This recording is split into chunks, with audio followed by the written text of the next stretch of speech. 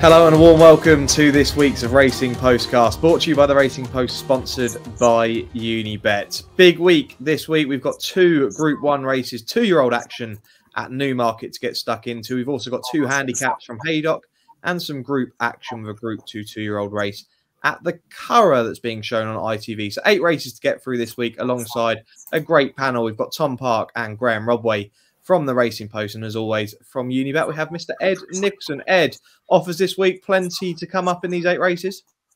Yeah, plenty to come up. It's always a great weekend, the uh, the Cambridgeshire. Plenty of memories going back uh, yesteryear in that race. So yeah, we've got some uh, we've got two two extra places in that race, and we've got plenty of other offers to talk about.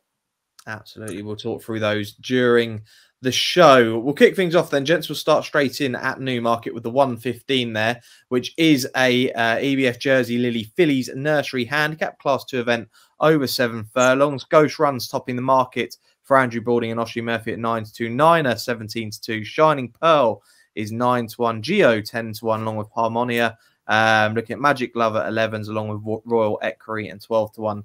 But these, a two year old handicap to get things started. Usually with these, you can find something that could be really well handicapped, but they're mm. quite exposed two year olds. You've got plenty of them in here. Graeme Rodway, I'll come to you first. Who did you like in this? The one that I really liked has not been declared, unfortunately. Uh, Sam, I did really, really fancy um, a horse early in the week for this race called um, Binierella Bay. Um, but they, uh, yeah, just checked the decks and uh, she's not there. So, um, I think Geo's got a big chance uh, for Eve Johnson Houghton. I see that um, uh, William Buick's up. Uh, last time out was a big improver when stepping up in trip. Um, the question, of course, here is the ground. That was one of the reasons why I really like Binierella Bay. Uh, was loads of form on soft ground, and I'm not far from Newmarket, and it is raining, and it is going to rain, and it's going to keep raining apparently. So it could get really, really testing um, by the time they get to this first race on Saturday. And Geo was quite impressive last time on good firm ground, but um, he has run on soft ground. He wasn't beaten that far when he ran on good soft ground earlier in the season. So if he goes through it, I think Geo will run well. But I'm not as confident as I would have been if Binierella Bay had been running town. That's for sure.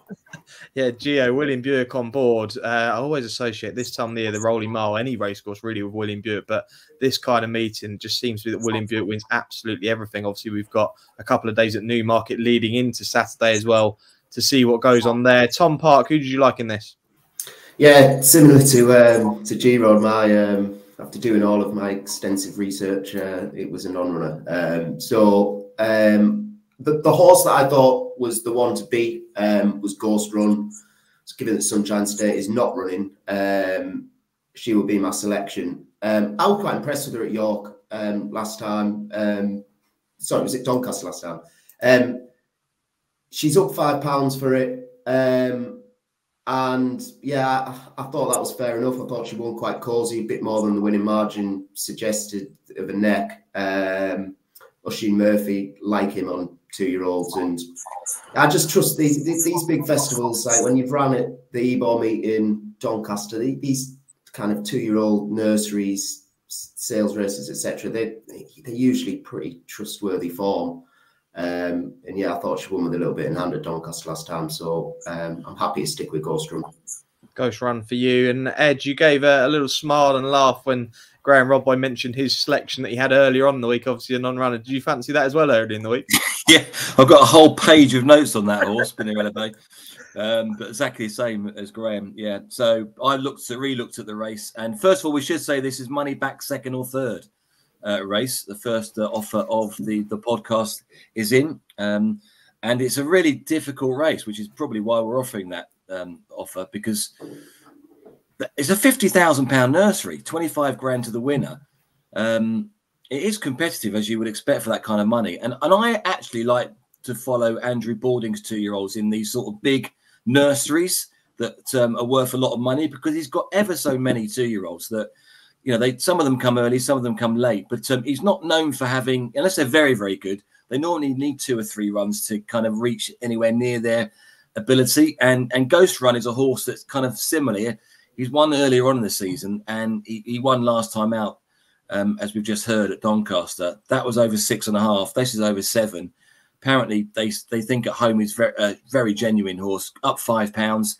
The only worry for me was was the going, and and Graeme's touched on it. I mean, when I started doing the research, it was good. Uh, then it was good to soft. I've looked at the uh, the weather on two or three different um, websites, and it, it, it, Graeme's right. It's it's, it's going to pour down today and Friday, but it's got sunshine on Saturday, so it's difficult to work out what the going is going to be. I'm basing it on being good to soft, um, so a chance on that. If it got any softer, I'd be a little bit worried.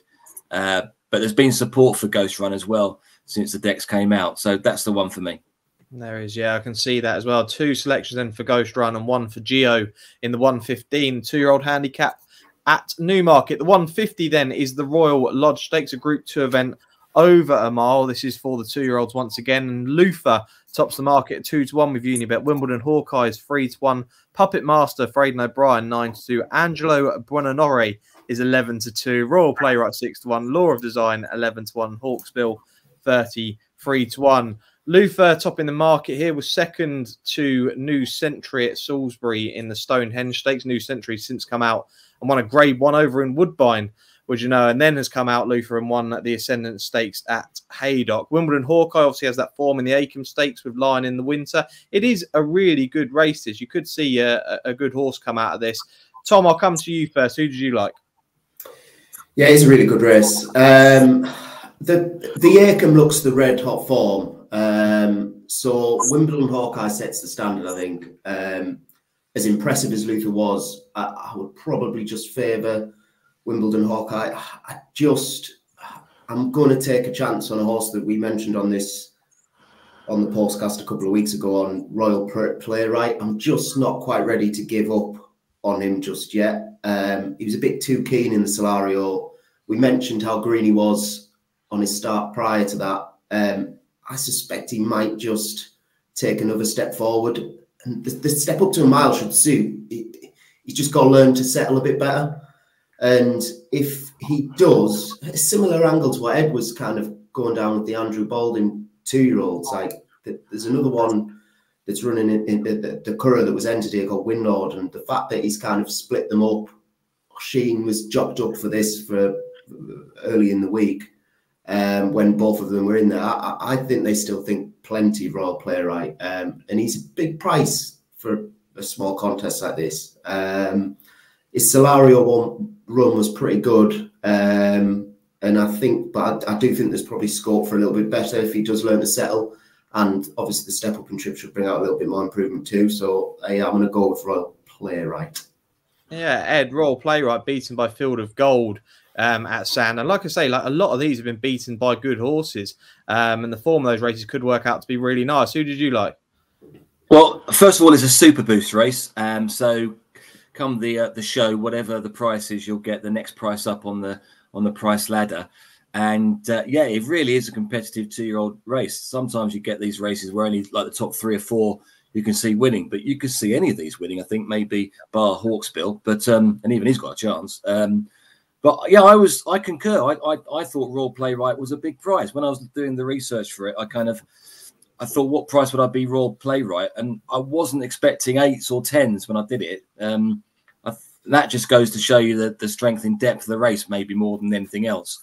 Um, I did note that Aidan O'Brien had 10 of the 18 five day decks, and he just relies on Puppet Master, which may be a tip in its own right because this horse only won a maiden last time and they're going maiden straight up to Group Two company, which is interesting given the kind of ammunition that he had in the race, um, as well as this horse. But yeah, I like the way Royal Playwright ran in that race at um, at Sandown, uh, the Solario. I think I think I'm right in saying Kameko got beat in that race as well, having won first time out and then improved. I might be wrong. I haven't checked my notes on that, but. Um, but obviously, they think a lot of this horse because he's still entered in the futurity uh, at Doncaster, and I I remember doing the preview for that show and saying that I out of the two, even you know the winner, uh, Field of Gold, this is the one I thought that might be better over over a period of time. So I, yeah, I think Royal Playwright's a good price at around about eight to one. So I, I agree. Okay, yeah, two votes for Royal Playwright. Then Graeme Rodway, the chance to make it a hat trick, but I doubt you will. No, you're right. No, I'm not going to. Um, I um I, I, again think it's a bit of a guess up really involving the ground, isn't it? Um, I look out my window and it's absolutely boring down, and I'm only about half an hour from Newmarket. Um, I, so I like um I'm going to take a chance on a soft ground winner, uh, Law of Design, um, who um, won well at Ascot last time uh, for Brian Meehan um, on softish ground that um at uh, Ascot, absolutely thrashed uh, Mr. Fantastic, who's come out and won since. Uh, who knows whether that form is going to be good enough? But uh, one thing I think that we we do know is this also land all the ground by Sottsass.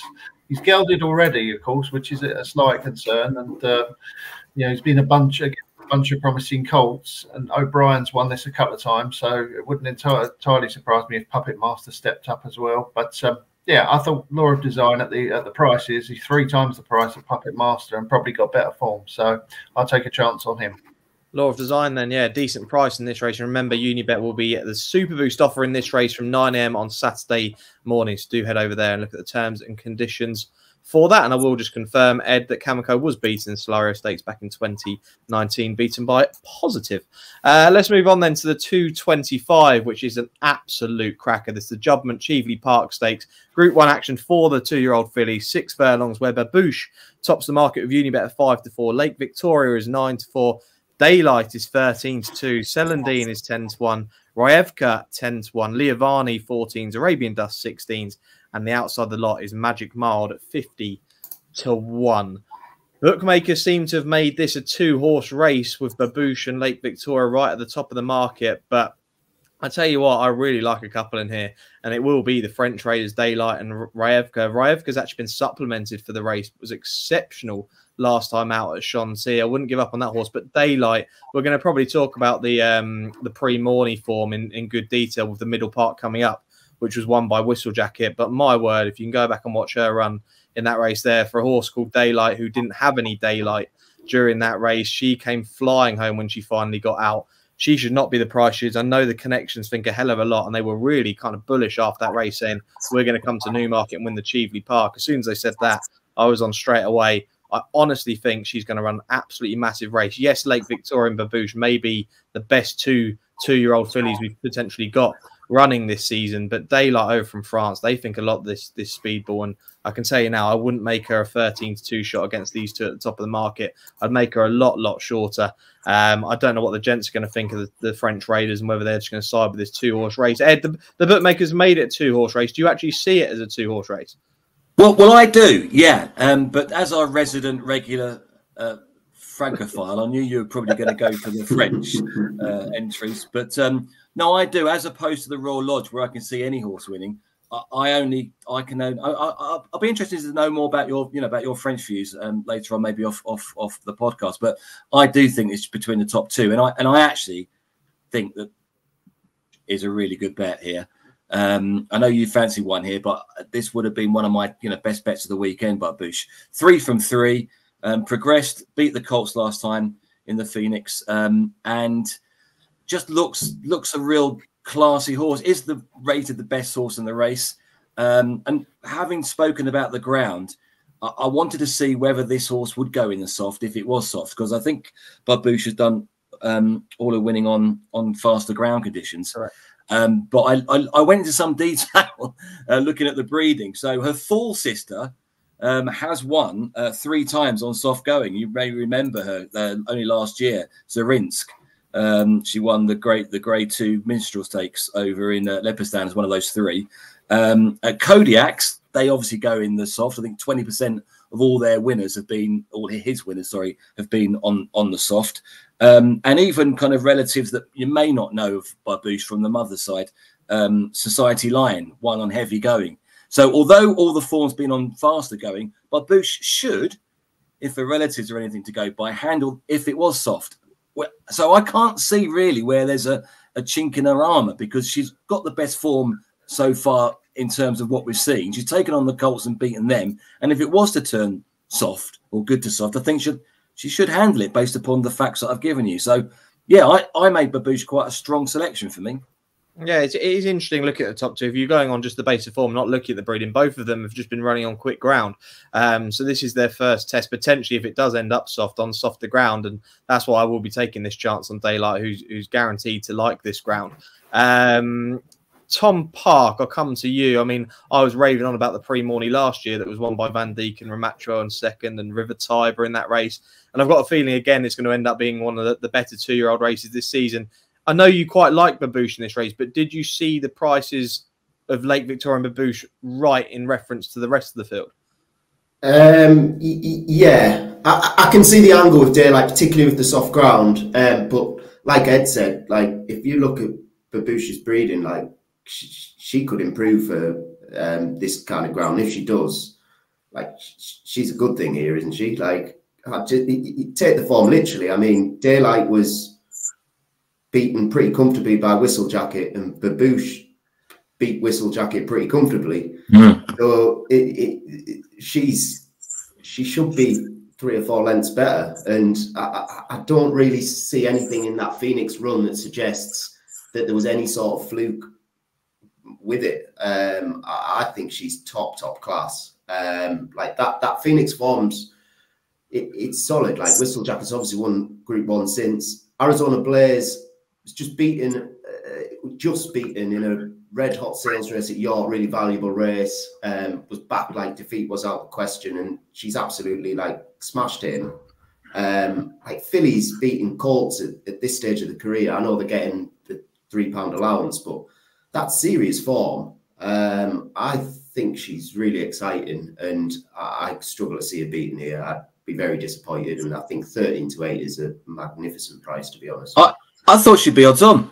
Yeah, absolutely. I, I thought she'd be uh, uh, long odds on, to be honest. I mean, I know Lake Victoria, you have to respect. Like that was a pretty good performance, but I don't know. That form does. It's a little bit smelly. I'm not sure bedtime oh, stories. turnaround though as well, isn't it? It's 11 days. It is a quick turnaround. Yeah. She looked really impressive. Don't get me wrong. Um, like I don't know. I I, I just uh, she's that that form is way off Babouche. Um, like I, I I think 13 to 8 is a massive price. Okay, no, it's absolutely fair. Um, I mean, if we're going on breeding, my, my selection daylight was side by Earthlight, who actually won at this meeting, I believe, under Mickael Barzalona. So Barzalona does have a good record on this Rowley Mile, and um, again, the one that does scare me is this Ryevka, who who won by five lengths last night. God knows how good she could be. Uh, Graeme Rodway, what was your selection in the uh, the Cheveley Park? Yeah, I'm, I'm dead keen to take this Favon. Um, yes. I mean, uh, he don't train winners in England, does he? For a start, this bloke, Ger Lyons. I mean, what's his record in England last five seasons? Uh, I'll tell you now, 0 for 19, uh, and he's had some chances in that time as well. Because I remember him bringing over good two-year-olds in the past. I think he might have done so in the Middle Park uh, last year or the year before. He had one beaten at short price. Colin Keane's got an awful record in England, hasn't he? I think he, he, he strikes at about 5%. So, you know, they, they just don't train and ride winners in England. I mean, I take the point that uh, Babouche has got really good form, obviously. You know, Whistle Jackets come out and and showed uh, showed that form to be really strong. But obviously, it's really soft ground as well, which um, yeah, maybe she will go on and breeding, but we don't know she's going to go on it. And we do know, like you say, that you got two French horses in there. They're almost certainly going to go on the ground, aren't they? And certainly the Earthlight. Uh, filly, Daylight, she's definitely going to like soft ground. You would have thought. I mean, Earthlight used to love it like a, a bog. So I'm with you, Sam. I'm with the French Raiders. I can't believe the prices of them both either, like eight to one and, and twelve to one. I'll probably back them both, but yeah, daylight for me. He's my number one. Come on, the Frenchers. Absolutely. Vive la France. There's a little bit of a war going on with one half of the screen and the other half of the screen here, two with the favourite and two trying to get it beat with the French horses. Uh, I'm going to be having, I'll be having a win bet, I think, on both of them, to be honest. I just can't believe the price of them against these two. I know they're good, they're good fillies at the top of the market, but I generally can't believe the difference in price. Has anyone else got anything on the other half of the screen to say in, in battle to the French horses, or are you finished? We'll let the top, we'll let our um, the, the horse do the talking. I think when she wins by three lengths. Uh, I, I, mean, I can talk more about the French horse off camera with you, Ed, if you if you want more convincing. But we'll get on to that. Let's move on to the Colts then, shall we? The three o'clock is the Middle Park Stakes, Juddmonte Middle Park Stakes, six furlongs once again. Where Whistle Jacket is the five to six favourite, Ides of March three to one, Shadow of Light five to one, Black Forza is 10 to 1. Defense Minister 14s intrusively.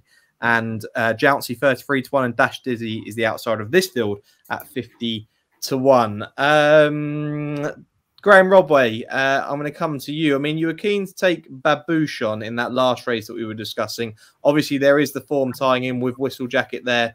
Um, even with daylight, there's the form tying with Whistle Jacket. Are you keen with regards to Aidan O'Brien to take on the favourite here?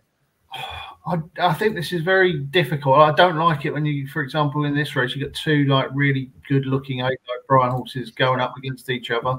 Ryan Moore rarely gets it wrong, does he nowadays? Um, but having said that, um, uh, the other one looks pretty good, doesn't it? Ides of March, and Sean Levey, of course, just ridden a, um, a St Leger winner for him, hasn't he? So, um, yeah, I, I, thought it was it was a really difficult race. Um, I wouldn't discount Shadow of Light, um, who was second in the was it the Acomb or the Gimcrack? It was the Gimcrack, wasn't it? York? Yeah, it was one of the. It was a good, really good time that race. It was running a really good time. Um, it was, of course, on quick ground, which is a bit of a worry. But Shadow of Lights by Lope de Vega, so um, that most of those go with a bit of cut.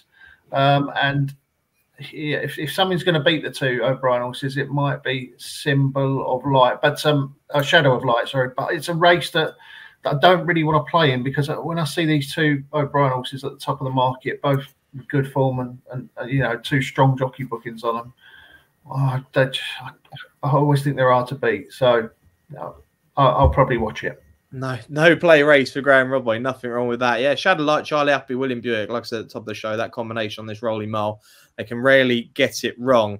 Um, Tom Park, to you then, Whistle Jacket. You were keen with Babouche, and like I say, that form's tied in. Are you keen with Whistle Jacket? Yeah, I am. Yeah, I, will probably double them up. To be fair, I, I, think Whistle Jacket is there are vulnerabilities to um, the way he kind of sets out and runs. He's quite a quick horse, particularly for horse over six furlongs. We just steer the trip quite well. Um, I think Newmarket should suit him. Um, but when you do go off like that, you kind of you are setting it up potentially for things from coming behind. But Ryan Moore booked have fewer concerns than other jockeys, I would imagine. Um, regarding that, I just think he's a class above. Um, his rating suggests he's the, the, the, others have got plenty to find with him. Um, and yeah, I think as long as they kind of get the fractions right, um, I, I, think he'll take all the beating. Is you need to handle the track as well, um, but yeah, I think I do quite like the, the, front runners. Sometimes at Newmarket can they can be hard to peg back, and he's quick, and I think he'll take an awful lot of beating. And uh, the, the, the form of Babouche naturally leads to doubling them up. I think I'll be a muggy double, but um, I'm quite happy to have a player. Group one third double potentially for Tom Park. It, it's very rare, Ed, that you'd see a top class Aidan O'Brien horse. This will be its seventh run of the season. Yeah. It's very rare. Now, I'm not saying this is going to happen, but it, it wouldn't shock me if, if Coolmore decided, you know, enough's enough and they could retire this horse at two. Horse may go into a three year old campaign, but we have seen it with Coolmore before where, you know, they've had some top quality horses run at two and run these big two year old group races and gone, you know, that's enough. We'll we'll leave it there. But yeah, seven runs this also have had after this. What do we make of that? I think that's a good point you make. Um, I think, and I've got no idea, and I'm just thinking about this on the hoof, but they probably think the same as you. They probably think it is a two-year-old. They've already been talking about the Breeders' Cup uh, for this horse, um, which would make sense if you know that would be a long end of a long two-year-old career, eight races maybe. Yeah. Um, but he's running all the good two year old races over sprint distances. So maybe he is just a two year old, but he's a very good two year old. And um, he should win this, I think. Uh, the only worry I've got, we're talking about the ground, is it's definitely going to be soft. It, it, it's good as soft at the moment, and, and it might well be softer than that, um, which will come into this horse's favour because he's, he's, he's run really well on softer conditions. But I know that the two times he's lost, well, he's, he's lost three times, but two of the three times he's lost have been on good to firm. So the soft ground would probably suit him miles certain to be soft in the description. So that's a positive. His ratings are positive. Um, but going back to your point, he has run a lot of times. I think there was eight days between the Phoenix and the Morny, yeah. which you don't often. I mean, I can't imagine Aidan O'Brien doing that with many two-year-olds over the years. Um, so maybe, it, it, I mean, I know he won last time out, and he's, he's shown himself to be a good class in, in that race. But uh, that might be a concern that he has raced a lot. But uh, yeah, Aidan O'Brien, like the other two year old races, had 14 runners entered in this race, and he's gone for these two. So Ides of March is an interesting backup, and I, I concur about Shadow of Light. We, we, we put that in, talked about that last time, and that's a decent horse. But it really is between those three, I think. And uh, yeah, my money would be on Whistle Jacket, but um, I'd, I'd, be interested to see what they. I would love to know if they just think this is a two-year-old. That, that that's really mm-hmm. interesting point you make, Sam. Yeah, the fact that this horse is yeah lined up to eventually go to the Breeders' Cup as well. If winning a, a Group One race over there or Grade One race, it's called yeah. over there. I, I, think that that could just be it. But like I say, I'm not. They'll know better than me. But could just be one of those speedy two-year-olds that could retire and, and end up producing some top quality two year olds. We'll wait and see. But let us know down in the comments who you like in the two Group One two year old races this weekend. Always keen to hear our viewers and listeners' selections. Let's move on to the final race at Newmarket then. From eight runner Group One races, we're going into a 35 runner competitive Cambridgeshire handicap at 340 there at Newmarket. One mile one furlong and the extremely well backed. You had a story in the Racing Post about this. Emmet Mullins train, This Song is for You is now the five to one favourite here. Roi de France is seven to one. Curdor and God Winston 10 to 1, 11 to 1 about Balmakara and Silver Sword, 12 to 1 about Bo Pedro, 14's Liberty Lane, 16's Bar. And I'll probably switch off my camera now if you tell me there's not going to be an extra place in this race. Uh, 35 runners. I think you mentioned at the top of the show. Two extra places, is that right? Yeah, there isn't an extra place. There, there are two extra places here, and um, uh, you do need them. But what a race! It's one of my favourite races. I've always loved this race. I'll be interested in what Graeme's first memory of this race is, because mine was um, Dallas and Rambo's Hall. Rambo's Hall won it twice. I backed Mellottie the year that he, she got beaten by uh, Risen Moon, and then she won it a year later with over a stone more on, on her back. So, um, and her ratings were up fourteen pounds. So yeah, it's a, a, race that I kind of really love. And who can forget Halling winning this before becoming a, a group, a multiple Group One winner? So you, you do get, you know, group horses masquerading as handicappers here, um, and it really is an open race. Um, I, I mean, I've I kind of normally like to have an anti-post selection, like I say, with Mellottie those all those years ago in 1990, but I haven't got one this year. And and I've looked at the race again, and the one I've kind of put a needle in or a pin in, because it really is like that this year, was Dual Identity from uh, William Knight Stable, who likes soft ground, has one on good ground. So the worry about the ground would be negated by those two factors. Um, came 10th in the race last year of 34, was racing on different group, um, finished seventh for that group, uh, and led two out, which is unlike dual identity. normally comes late. So I just thought this one mile one trip, I always thought pretty best distance for dual identity as well. Uh, William Knight's having a great season. I think he's had 33 winners. His best is 34. He did last year, uh, 2021 and 2010. Um, so yeah, 25 to one. I think we're around about those prices. I just thought dual identity with the two extra places uh, comes there on the bridle and uh, wins on the snaff. Dual identity, yeah, big price, 25 to 1, two extra places there with Unibet. Um, worth mentioning, actually, while we're talking about the Cambridgeshire, the retirement of Lord North, who won this race back in 2019, the international superstar and the three times um, the Dubai Turf winner. I, I, I, remember this horse win this race extremely well handicapped, obviously, and uh, was a big gamble on that day under Frankie Dettori. Graeme Rodway, I know you love hearing Ed Nicholson's stories and memories of these big races. He, he's asked you what your big memory of the Cambridgeshire was. what, what is it? Yeah, I love this race. Yeah, I like yeah, you know, it's just it's a great race, isn't it? So many runners, and you get class horses win it. Um, I have a couple of binding memories of this race. One was when Halling won it. My dad actually went, but he, he, he, wouldn't take me. I remember he wouldn't take me. I think he was going with his friends, and I really wanted to go. Like I, I was, you know, about thirteen or twelve, wasn't it, at the time. Really wanted to go, absolutely desperate to go. And then yeah, I ended up missing one of the all-time great winners, the Cambridgeshire, didn't I? Because Halling was an absolute superstar. He went on to win a bunch of Group One races uh, and on a huge unbeaten run. And my other uh, abiding memory is, of course, uh, one that I backed, uh, Katy Nowaitee, which I think might have been around the 2000s. Um, famously came from stall one and went right up the far side rail and everything came up the near side and it happened to be on the right side. I never forget that Katy Nowaitee. So yeah, lo love the race. And I've got a massive price selection for you here. Yes, right? go on.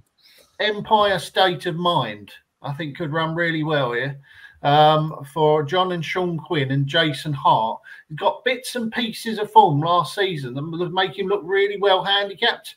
Particularly when he chased on Bo Pedro on soft ground here um, in April last year in a hot handicap. He was running off a marker 99 that day. He's running off 90 here. If he can reproduce that sort of form, he's got a really good chance. He ran really well on soft ground a couple of times towards the last back end, uh, including when third behind Sparks Fly on heavy at Haydock. And it just strikes me that maybe they've had this race in mind. He's been very yeah. lightly raced this season. He only had two runs all year, but didn't bring him back till July. And he didn't run that badly last time. Yes, he finished eight for 10, but he was only beaten four lengths. The time was not bad of that race in the Summer Cup at first. Uh, he looks like an absolute plot job here to me. Empire State of Mind. He's really well handicapped on his best form. He's right up against the stand side rail. Who knows whether that'll be the place to be on soft ground? But we know he loves soft ground. He's got superb form figures on soft ground. Empire State of Mind. I can reel them off for you now if you want. I mean, he hardly ever misses the frame when it's soft. He finished seven one two one two two eight on soft ground. So you're going to love the conditions. Really well handicapped. Massive old price. Empire State of Mind. Let's hope that we can never forget him like Katy Nowaitee. You know, in 20 years' time, I'll be talking about Empire State of Mind. God, passionate Graeme Rodway. We love to see it. Um, 66 to 1. You wouldn't often get a massive price like that on the postcards, but 66 to 1 again at those two extra places with Unibet. Um, that is a, a cracking each way bet there. 66 to 1. And Katy Nowaitee was bang on 2000. Graeme Rodway, just to confirm that for you. Uh, Tom Park, uh, I won't ask you too much about your memories of this race, but I'll ask you for your selection. Who did you like? Yeah, I like one at a big price as well. Um, I like two actually. Um, I'll, I'll, go with the the more um, obvious one first. Um, if there is a superstar in this race, potentially, I do think Liberty Lane has got the potential to still be very, very good. Um, he should have won last time. It was probably a blessing in disguise that he didn't because he escapes a penalty. Um, he's three pound well in. Um, he was very impressive when winning over course and distance in May, and like I thought he'd be going for good race after that. Karl Burke was quoted after, and he was saying he's very, very good. Um, he'd been, I don't know if you remember, he was really well back favourite for the Lincoln the start before and ran no sort of race. Um, he's only four pound higher than that Newmarket run, so it, it does give him a big chance. Um, and I thought he kind of lost his form a little bit, but he he got no run whatsoever on his next start at Epsom. Um, he, he, was given a pretty easy time of things, um, like once once his chance had gone. Um, and then he had a really wide draw to overcome in the John Smith's Cup. Um, and he did actually hit the front two furlongs out. Um, but given his wide draw, he was kind of forced to kind of go up with the pace and he, he kind of was he carried himself over to the stands rail.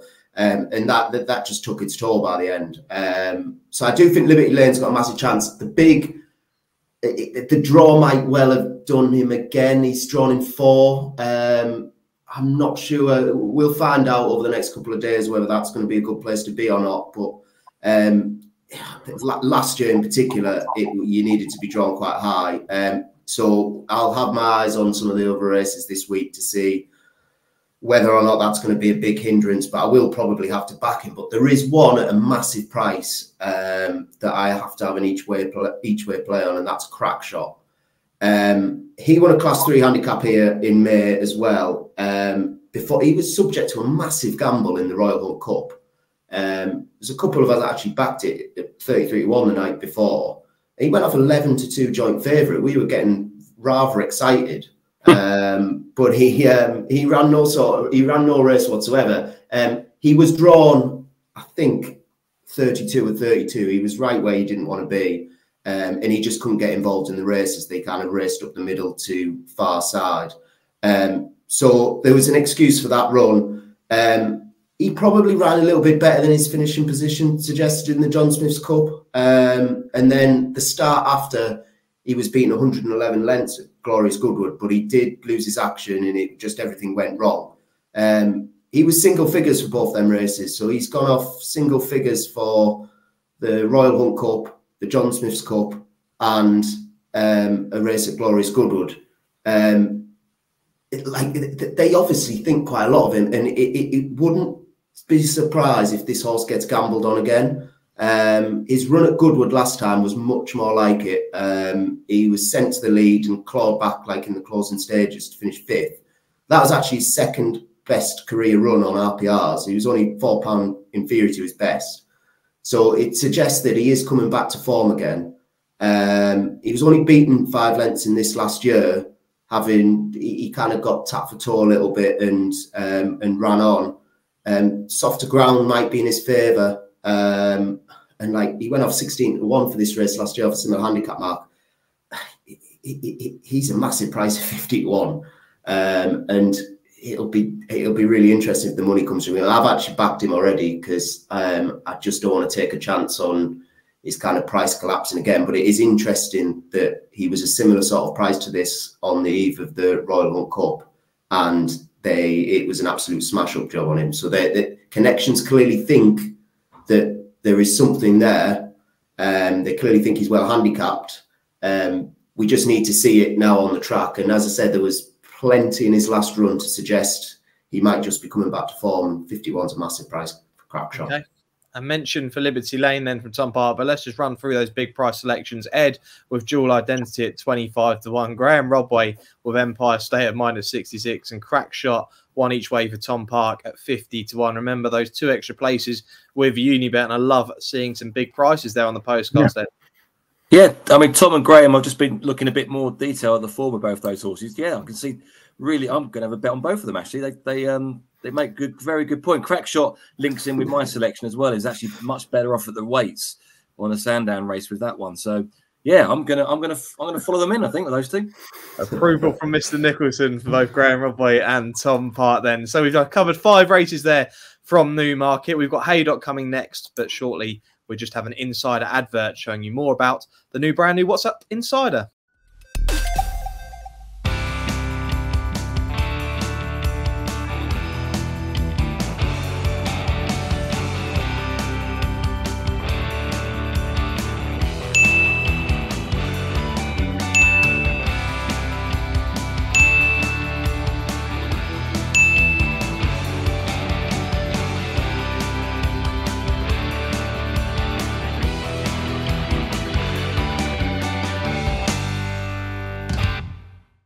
Welcome back to this week's Racing Postcast, brought to you by the Racing Post, sponsored by Unibet. Sam Hart, Tom Park, Graeme Rodway, and Ed Nicholson spinning you through the ITV action this weekend. We go to Haydock now. We've got two races there, and we start off with the 130, which is a handicap over a mile, which sees Whiskey Pete as the 130 favourite. Roscollin is 5 to 1. Earls is 11 to 2. Radebug and Skipper 6 to 1. Dashing Darcy 13 to 2 double figures bar. Speaking of camera, Tom Park, you were quite keen on one in this.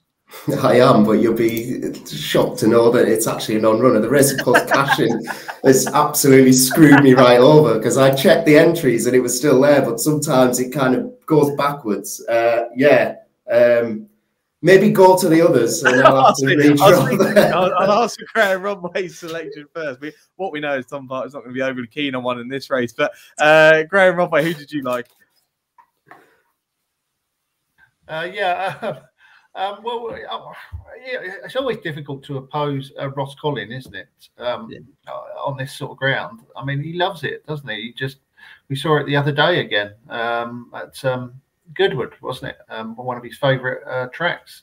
Um, but I mean, he's got form at Haydock. He's a course and distance winner. He's turned out quickly under a penalty on his favourite conditions. I reckon just keep it simple, back Roscollin and go and pick up. Mm, there you go. Yeah, Roscollin certainly. If the ground does get soft, he's going to absolutely love it. Uh, Ed Nicholson for you then in this handicap at Haydock. Yeah, I think this race can be best summarised by there's lots of out of form horses that on their best form would go very close. And many of them have been dropped in the handicap as a subsequence of their recent poor performances, which again, some of them is due to the ground. So I was looking for horses that have been dropped in the handicap over the last few months having previously shown good form on soft ground. And my my eye was taken to Radabaj, uh, number two, who we have tipped up on this program before. Um, if those with good memories remember that it ran um, early on in the season in some of those big races like the Spring Cup, um, having come from Ireland, it won. I think it came third in the Irish Lincolnshire um, off a mark of 105. And I, I, you know, I think it was going to win a. Well, I thought it might win a big handicap over here, but it, it struggled. And since June, it's been running on good to firm ground um, and good ground last time when it obviously needs soft ground. But as a consequence, his marks come down from that high of 107 at Newbury down to uh, 97. He came down another couple of pounds uh, just for his run at, at, Doncaster. So, given the softer ground conditions, and I think it will be definitely be soft at Haydock, um, Radabaj, a good horse, probably taking on inf- more inferior horses to him as than he was maybe at the beginning of the season, um, given the class of the race. Still a class two, still a good race, 0 to 105. But yeah, I thought Radabaj was a, was a, was worth a, was worth a bet back on the soft ground. I think that's the key. Hmm, there we go. Roundabout ground six to one with Unibet currently. Uh, uh Tom, I can also, also Visored first time. Sorry, sorry, Visored first time. I should have said as well, which which was interesting. Okay, so Roundabout Fred Nicholson. Uh, Tom, you might not have had too long to look at this race. Doesn't worry if you haven't got a selection. But do you agree with what the gent said? Yeah, yeah. I mean, there's a horse who um, I backed in the Irish um, Lincolnshire earlier in the season called Earls, and um, he's got form on. If the ground was to turn up really testing, I mean, he's got. He finished second in a big handicap at the Curragh on heavy ground. He was fifth in the Irish Lincolnshire um, on heavy ground and staying on well that day as well. He was a little bit unlucky in running. Um, he's looking well handicapped off a mark of 89. Um, and Gavin Cromwell's got a good record when he sends them over here. So, um, yeah, I'd probably be my extensive research in the last 25 seconds has forced me to land on Earls. We we've gone from Tom Park being really sweet and one about to nap one up to tentative selection. Probably won't be playing in the race. Uh, let's move on to the 315 at Haydock then, gents. A bit of a jump, but ITV will be showing the 315, which is the My Pension Expert Handicap Class 2 event. This is a sprint handicap, five furlongs. The distant Wiltshire is the 5 2 favourite for William Haggas and Cieren Fallon. Jerbat is 11 2. Abraham Gold is 6 to 1. Silky Wilkie is 7 to 1. Hyper Focus 15 2. Blue Storm 8 to 1. Uh, double figures again, bar these. What have we got in here, Ed Nicholson? Well, I, am just going to go for Silky Wilkie, given what a good run it was last time out. Might have been flattered by the draw. We mentioned the draw in the show where we where we thought the high numbers would prevail, and, and, and they did. And Silky Wilkie was drawn 19, I think, when he came second, but eighth in the Portland, second in the Ayr Gold Cup. Horse obviously in form, thriving on the ground, a, a win machine, five wins from 34 turf runs. Um, Karl Burke's horses remain in good form. He's won at Haydock in the past as well. So yeah, I'm just I wasn't a great fancy, I must say, because I thought it was a competitive race with many many having chances. But um, I, I, kind of was looking at Wiltshire, but that's only three to one in what is a competitive race. So I'm going for Silky Wilkie at uh, at least double those odds. Yeah, Silky Wilkie, uh, seven to one. Fred Nicholson, uh, Graeme Rodway. To you then, sprint handicap. Who did you like? Uh, yeah, I thought one of the better bets on the day, Wiltshire, should, uh, you know, his favourite, but he should win. I think they've been waiting for soft ground uh, with him because he'd been very lightly raced uh, all season and produced one of his best performances earlier in the uh, year at um, Newbury when he was when he won on, there on, on, on, an easy surface. Um, and then they, they William Haggas does this quite a lot. Like if he thinks horse wants soft ground, he just runs them on the all weather um, through the, through the summer. I've done it with Hamish, didn't he, a couple of weeks ago at, at um, Kempton, albeit um, he didn't win the race. And uh, Wiltshire won last time out at Newcastle, yeah, and was very impressive that day. Still very lightly raced. I think a lot of Haggas's horses do go through soft ground really well for one reason or another. And this one's by Acclaim, who obviously liked the testing surface himself, so he's bred to want plenty of cuts. So everything looks right for the favourite here, uh, Sam, and I think that this will win uh, Wiltshire. Wiltshire, a few little nods from Tom Park in agreement. I yeah, he will be my selection. He's definitely the horse to beat. Um, I can. He's the rightful favourite. I don't think he's bad value at three to one. Um, the horse I like is Blue Storm um, for the Gemma Tutty yard. Um, so I'm happy to give it, his last run in the Beverley Bullet. It turned into a weird race. He had a little bit to find on um, figures. And I think we said on here that if like it was a handicap, I would back Blue Storm. So he's back in handicap company more importantly, I think like the bigger field should suit. He seems to like running past horses, um, which Beverley turned into a little bit of a cat and mouse chase, and um, they just left the, the two up front, just left the rest for dead, um, with just Al Bashir staying on. Um, he's pretty unexposed still at handicap level. Um, obviously won the Epsom Dash and then finished second at Royal Ascot. Um, they were talking about potentially stepping up to group company after that. Um, so he gets another chance of 99. I think there's probably another win left in Blue Storm. Um, and yeah, if he's in the same form as he was earlier in the season during that Epsom Ascot kind of run, I, I think he's got a big chance off 99. So um, yeah, Blue Storm for me.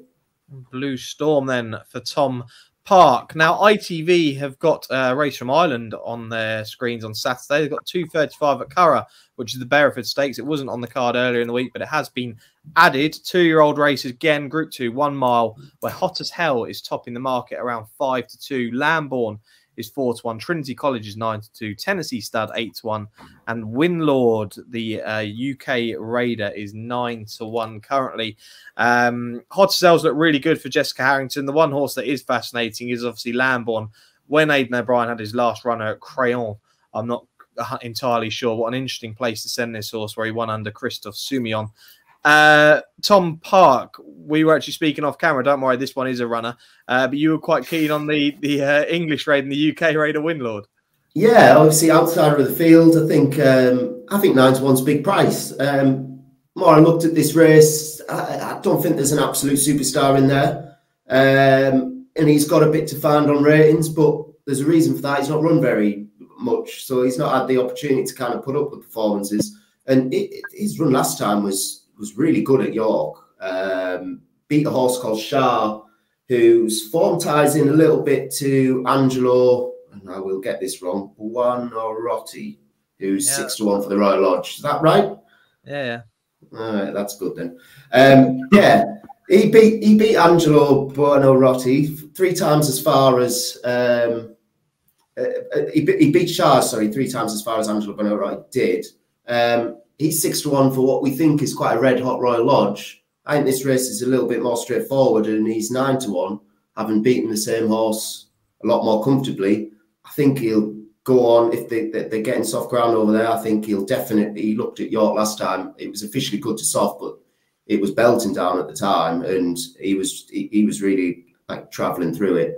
Um, yeah, and the Andrew Balding angle again, like um, like he's got a lot of good two year olds, and I think to be sending one over to Ireland, they wouldn't be doing that unless they they, they thought plenty of it. And on his last run, he, he could be anything. I think I think anyone laying nine to one's taking a bit of a chance really because I was quite impressed with it last time, and it's got an entry for the the Group One at Doncaster. So um, they potentially, I think they think a fair bit of this horse. So um, yeah, I'm quite keen on Winlord.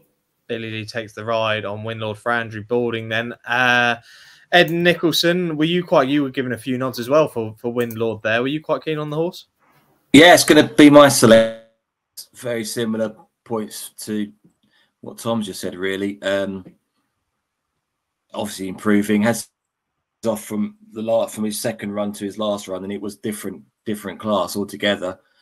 Uh, I just again once I looked at the prices, I didn't think there was that big a discrepancy between there should be as big a discrepancy between Winlord and some of the others, yet there is. So yeah, I thought Winlord was was a was worth having a bet. A lot of the English group two year old races at the weekend look like they might be going.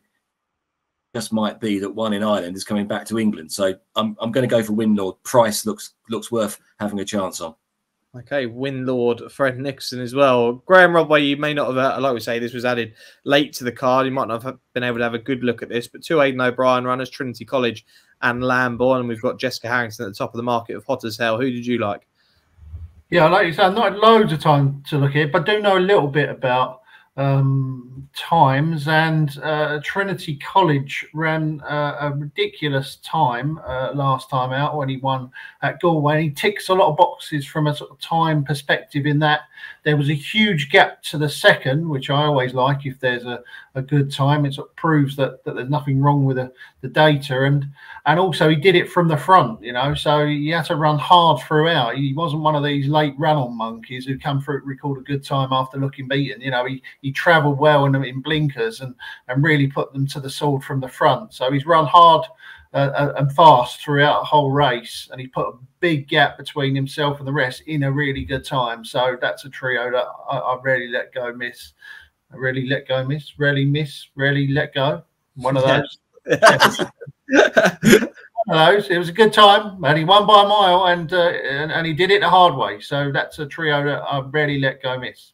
Yeah, I, I, guess I guess Lambourne slightly short in the betting just due to that unbeaten um, record there, but I wouldn't have said Lambourn beat too much at Elton Craon after going through the form there. And, and, Trinity College, like you say, good time last time. And it's Wayne Lordan's pick, which I guess he would have had first pick with Ryan Moore being uh, at Newmarket. So yeah, I, would be with you in that Trinity College. But Winlord for two of the gents, Tom Park and Ed Nicholson, they're at a decent price. So that is all the ITV action done and dusted. We'll be back shortly after this advert with our selections elsewhere and our best bets for the weekend. Want betting on the horses to be anything but flat? With an app that impresses every time out. You're on. Want to watch live streaming of races in the UK, Ireland, and around the globe? And get a chance to win even bigger with three Uniboosts every day on any horses you want. Unibet, you're on. So here we are then, the final part of this week's Racing Postcast, brought to you by the Racing Post, sponsored by Unibet. We now give you our selections elsewhere for the weekend. Tom Park, is there anything away from the ITV cameras that you liked? Uh, not really. It was Winlord before the um, the, the they added the race um, was the one that I mentioned. So um, nothing really other than that. Um, Sam. No worries at all. Graeme Rodway, was anything for you this weekend away from the cameras? Uh, 240 at Haydock. Um, and, and Nariko uh, has got to be a big player there. I would have thought for Hugo Palmer. Um, I like Hugo Palmer's horses off a long layoff. It's like he's got a really good record uh, with his runners when they go fresh. Um, I think he must put plenty of work into uh, them at home. And of course, Haydock is his local track, and Nariko um, was last seen at Haydock, winning there on soft ground um, a long time ago, 126 days. Um, but um, like I say, Palmer will have this, this, this bang ready. I've got absolutely no doubt about it. His horses hardly ever need their first run; they're always bang fit, and the ground is right for him again. And uh, he, he, should be at a fair price, I think, to follow up after that layoff. So just a 240 a Haydock, Rico for Hugo Palmer and uh, Paul Mulrennan. Yeah, 240 at Haydock. Then Nariko is around about the 9 to 2 shot for that race at Haydock on Saturday. Ed, I don't know if there's anything else from you, if you just want to reiterate any offers for, for the weekend coming up. Yeah, no, no extra selections, but um, yeah, bag full of offers on the Saturday. Obviously, the extra two places in the Cambridgeshire. Um, we've got plenty of other offers. What I didn't say is we've got industry best price offer for the Haydock. So um, have a look at that race from 9 a.m. on Saturday will be the industry best price on every horse in that 130. Yeah, 9 a.m. on Saturday. Brand new offer from Unibet there for the last few weeks. We've been showcasing that. So do check out the website on Saturday morning at 9 a.m. Uh, usually I go for best bets here. And in the last couple of weeks, I've been throwing in a, a quick question, but we've obviously got Longchamp next weekend, and the Arc's going to be the big preview next week. I just want to speak to the panel. Has anyone actually got a, a selection or any bets that they've got for the Arc already? Tom Park, is a horse that you fancied long term for the Ark? I'm praying that eh, Aidan O'Brien has a change of mind and runs Kyprios in the race because I have absolutely I've been backing it at crazy prices all season. Backed it crazy prices last season, the season before. Um, yeah, I'm really hoping that if it belts down, that they have a change of mind. I don't think they will, unfortunately, but I think this is a wide open race, wide, wide open, and I think Kyprios is a hell of a, a hell of a horse, and I would he would take all the beating. I think, in particular, if it was soft ground, um, heavy ground. Um, I don't think they will run it, so it's a, a little bit. Um, but I'll, I'll, be looking for something at a price. Um, but yeah, I'm still keeping everything crossed. It would potentially be one of the um, the biggest if uh, he was to um, to get the job done. But I don't think it's going to happen, unfortunately.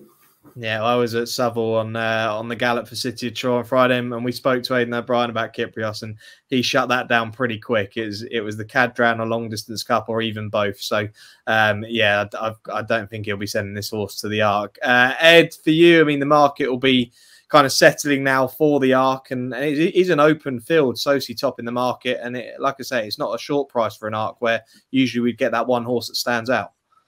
Yeah, I haven't redone any analysis myself on the art, but I, I normally like to find a horse that uh, has won a Group One over ten furlongs uh, in the lead up. Obviously, French horses do that quite regularly, so yeah, I'll be looking at the ground as well. I mean, should come up soft, shouldn't it? I was there last year; it was very soft that day. Um, but I, I, do have a horse that I, am looking forward to the weekend if it runs. I don't know whether it'll run because it's declared to run um, tomorrow at Newmarket. But Poker Face uh, won the um, I, I just he loves soft ground, and I just thought if they go there, it's worth kind of taking the hint. But he does run. He does run tomorrow. Yeah, yeah, yeah. uh, honestly one of the best weekends racing next week, and we'll be covering quite a bit of it on the postcast next week. And I'm, I'm really excited to see uh, the horse that ruined everything in, in May and Ramatuelle come back in the Prix de la Forêt. Um, she'll be back. She's around a four to one shot for that, but I'm hoping she'll come back to her best once again. Graeme Rodway, anything for for the arc that you've had? Yeah, I really fancy one for the Arc this year. I think that Shin Emperor will win it. Um, for the, Japanese. Japanese. Yeah, I really fancy it. Um, all the talk before the Irish Champion Stakes last time was that that was just a that was just going to be a prep run for the Arc that they weren't going to have Shin Emperor fully wound up. I mean, he all, he all but won it, didn't he? I mean, he wasn't beaten far at all in the Irish Champion Stakes. You know, if that was Shin Emperor not fully wound up, then um, we and we're going to see a better horse in the Arc then it's going to be an exciting prospect. I think. I mean, the the horse is a better horse over a mile and a half anyway. He's bred to light soft ground. He's a brother to Sottsass, who won the yeah the arc on heavy ground. So um, the fact that he's been winning over in Japan, bunch of Group Ones on, on fast ground, tells you just how good he is. I mean, the Japanese have got the best bred horses in, in, in anywhere in the world, and this horse is bred to be an absolute star. Sottsass is in is in there. My Sistercharlie, who's the Group One winner for Chad Brown, closely related to that. I mean, I just think this Shin Emperor is going to. I think he's going to win and win well. I think he's different gravy to this lot.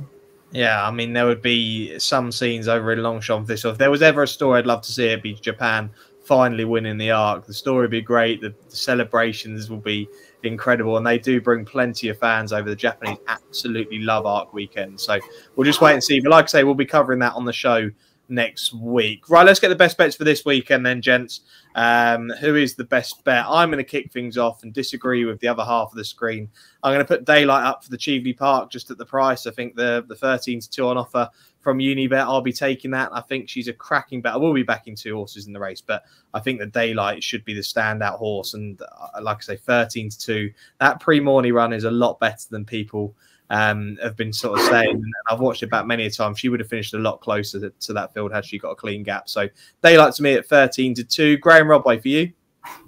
I'm taking uh, Wiltshire. Uh, keep it nice and simple. It's been a while since I had a winning nap on this show, Sam. So I'm not gonna I'm not gonna take any chances this week. I'm gonna go with the one that, that has got the strongest chance that should win, and that's Wiltshire. 315 at Haydock, I think, isn't it?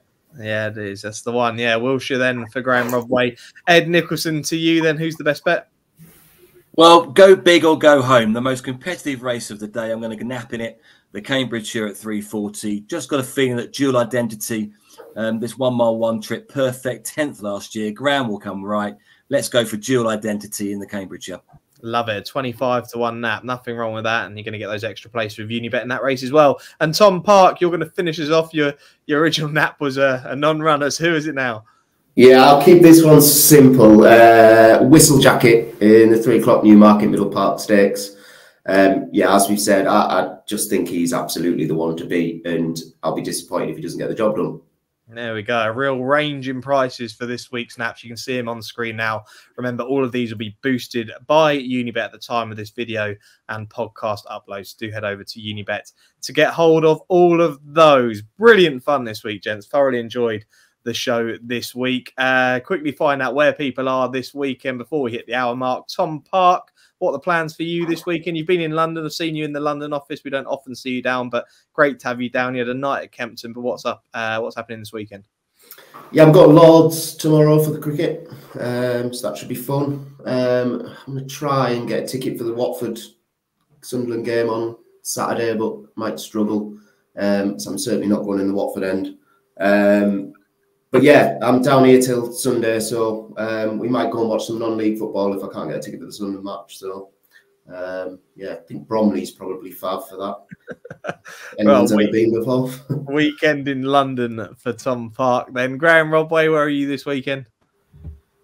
You come and see the Daggers, uh, uh, Parky, my local team, Dagenham and Redbridge. Yeah, I mean, lo- watched a lot of those this this um, this year. What division are they in at the moment? Uh, National League, yeah. So okay. uh, one below the, the the the big the big one, but a lot of local derbies in the National League this year. Loads of loads of London clubs in it, so it's good fun. Um, yeah, I mean, I, would like to go up to Newmarket. It's not very far from me, as I, as I say. I'd like to go on Saturday. I know that um, my youngest has got a football match in the morning, so it very much depends, um, you know, how that result goes, how quickly we can get away from the the, the early morning uh, rush, and uh, if I can get up to Newmarket in time, I will go there, Sam. So I'm looking forward to it. Love this uh, weekend, and uh, hopefully back a few winners yeah, hopefully Graeme Rodway can head to Newmarket and cheer on some French fillies in a Group One race for me. Uh, and Ed Nicholson for you. Plans this weekend? Yeah, busy week already. Um, Wednesday I was at Kempton where I bumped into Tom. I can firmly agree that he is real. Um, first time I've ever met him. Um, and Graeme was there as well, which was nice to have a little chat about uh, about racing. Uh, today I'm in Cheltenham for the snooker. We're sponsoring the uh, the British Masters. So I'm down there for the evening session, uh, looking after a few people, and then back up to uh, to London tomorrow, and I'll see Tom again. I think at Lord. So there's plenty of uh, plenty of action going on. I'm not going racing this weekend though. Um, I, I think I'll give it a miss. I'll watch it on the telly. There you go. Yeah, rare that Ed misses a, a, weekend of racing, but yeah, the snooker is on, sponsored by Unibet. The British Masters has been going on. You would have seen plenty of clips on the Racing Post Twitter as well of Nico de Boinville talking through some yeah. of the top Nicky Henderson horses. Big thanks to Unibet and Ed Nicholson for helping sort that. He was down at the snooker. Is there any content for that coming, Ed? Yeah, We've got some great content of Nico playing snooker against the world number three now. He was number one when we we first met him, uh, Mark Allen. So Nico's playing a frame of snooker against Mark Allen, but to get his own back, we put Mark Allen on an equicizer, which is funny. So yeah, it'll, hopefully it'll be funny, but uh, that will that will drop on Thursday, seven o'clock. So about time this goes out. Yeah, so keep an eye out on at Unibet Racing for that. Yeah, I feel for Mark Allen actually because I was actually sat on an equicizer and in a, a Mia Nichols feature that we've we've done on the Racing Post YouTube channel. Not all of that footage made the cut, but luckily I was the one on the edit. So um, if you want hold of that footage, you won't be receiving it basically. Just say, uh, Sam, has come through just this minute. Soft all over at, at, at Newmarket. Soft ground all over already. There we go. So, vive la France. That's going to suit the French fillies. Uh, big thanks, as always, to my panel Tom Park, Graeme Rodway, and of course, Ed Nicholson. We'll be back again next week. Remember, we'll be previewing the weekend action as well as previewing the big race in France, the Prix de l'Arc de Triomphe. Do like, comment, share, and subscribe. And we'll see you again next Thursday at 7 p.m. Thanks for watching.